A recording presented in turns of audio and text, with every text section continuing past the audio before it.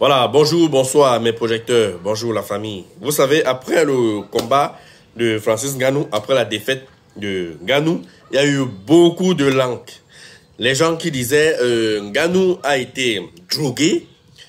Voilà, donc on l'avait drogué avant qu'il ne monte sur le ring. Euh, D'autres qui disaient euh, non, il a vendu le combat pour ses, pour ses milliards. Euh, d'autres qui disaient non, ce sont les pratiques de Joshua qui a dominé pour Ganou. Que, bon, frère, ce sont les, le pouvoir, la puissance. Donc, quand on parle de puissance, vous comprenez un peu de quoi il s'agit. Voilà. Mais, Ganou a fait une sortie hier pour nous recadrer. Je vous invite à écouter attentivement. Je vous prends prêt parce qu'il a dit beaucoup de choses. Et je pense qu'à travers ce qu'il a dit là, ça va un peu fermer nos bouches. Écoutons attentivement Ganou. Voilà, écoutons bien ce qu'il nous dit. Mais ne s'est pas passé comme prévu. C'était, c'était déjà une journée un peu bizarre, très bizarre, Mhm. si, si bien. je veux dire ça. Parce que toute la journée, je me suis, j'ai jamais été dans le combat. Je me suis jamais présenté à ce combat parce que toute la journée, j'étais pas là. Je suis arrivé à l'arène aux alentours de 22 heures et j'ai 23 heures et j'ai dû combattre à 3h30 pendant 4h30. En, en aucun moment, j'étais, j'étais moi-même, quoi. Tu vois. Je me rappelle, je m'échauffais, euh, je transpirais, mais j'avais sommeil. Ce qui était un peu bizarre. On a accusé le, le fait qu'il se faisait tard, bien que je m'entraînais déjà un peu tardivement pour me préparer aux heures du combat. Mais bon, après, il faut pas faire des excuses. hein. On se, en tant que, en tant que combattant, c'est, il y a que deux issues dans un combat. Ouais. On gagne ou on perd. Il n'y a Mhm. que deux façons de gagner ou de perdre. Soit par décision, soit par chaos. Mhm. Et désolé encore pour ceux qui ont eu le cœur brisé parce que j'ai beaucoup se sont sentis énormément mal. Ma famille, mal. mes amis, mon équipe sont sentis énormément mal. à ce genre de Certains ont même eu peur. Euh, mais heureusement, il y a eu plus de peur que de mal. Ouais. Ouais. C'était juste, euh, c'était un jour, quoi. Mhm. Là, on va euh, reprendre nos esprits, aller s'entraîner, prochainement venir, venir mieux préparer Mhm. euh, et voilà, observer encore plus le jeu, comprendre encore plus parce que bon, c'est vrai qu'il y a beaucoup de choses où, où on Bref, euh, je crois on que vous avez compris l'essentiel. monde On de la va, on va, boxe on va arrêter et c'est pas pour autant que je compte abandonner. Ça va. Vous avez compris l'essentiel. Ganou dit lui-même que il n'était pas dans le combat. Et c'est où je confirme la sortie de Mike Tyson, qui nous a fait comprendre que il y avait tout ce jour-là, sauf un combat de boxe. Et on comprend là que il y a eu beaucoup de choses qui se sont passées avant. Voilà même Ganou lui-même qui dit que ce jour-là, il, il avait sommeil.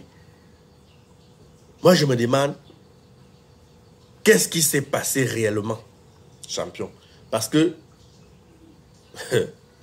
tu ne nous dis pas jusqu'ici ce qui s'est réellement passé.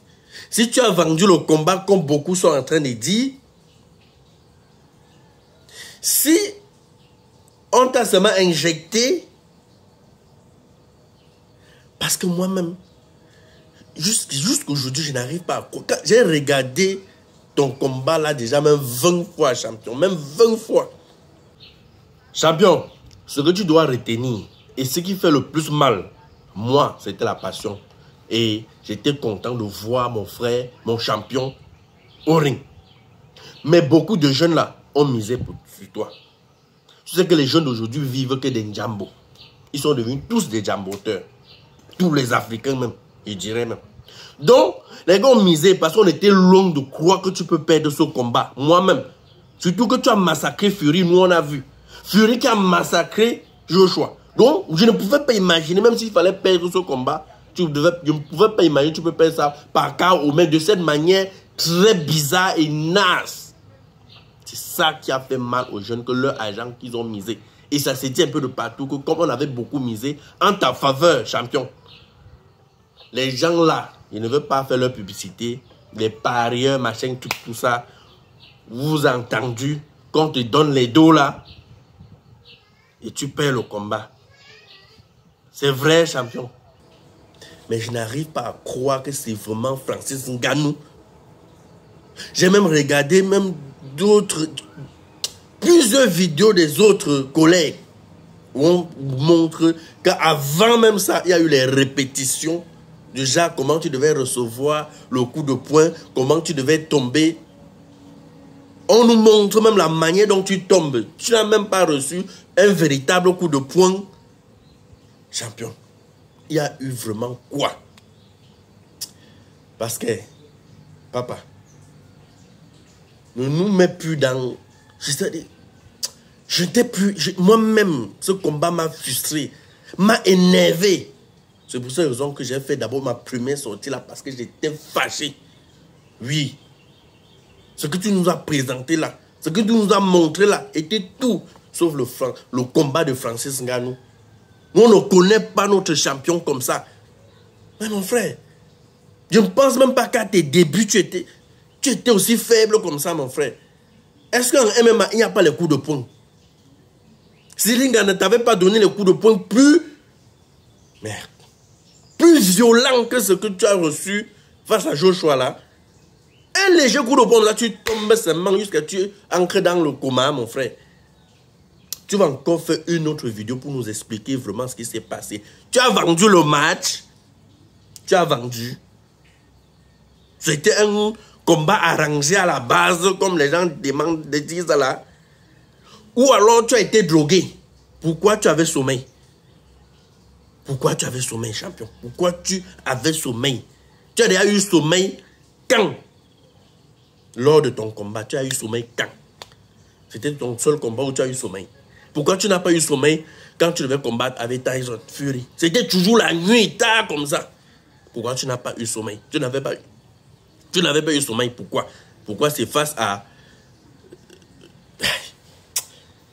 Je suis même dépassé. J'ai failli perdre ma vie à cause de cancer de la prostate. Ça, si on ne me dirigeait pas vers lui comme je suis en train de vous diriger aussi, c'est que je ne suis plus de ce monde j'allais déjà rejoindre mes ancêtres. Mais Dieu merci, qui m'a montré un bon chemin pour le docteur Gadema m'a sauvé. Mesdames, Messieurs, bonjour et bienvenue à Naturia Santé. Naturia Santé, c'est un laboratoire certifié dans la fabrication des médicaments traditionnels. J'ai une pensée forte pour ces femmes qui sont à la recherche d'enfants et qui n'arrivent pas toujours à trouver de solutions.